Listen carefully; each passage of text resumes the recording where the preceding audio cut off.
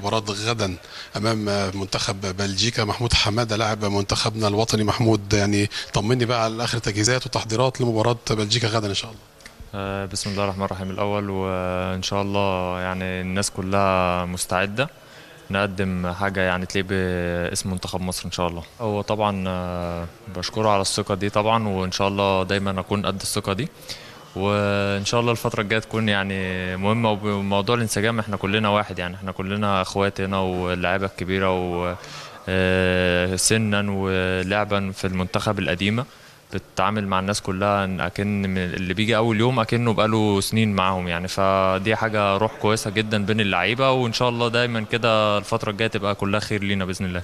الأجواء بقى بين اللاعبين داخل المعسكر واهتمامهم بالمباراة إزاي؟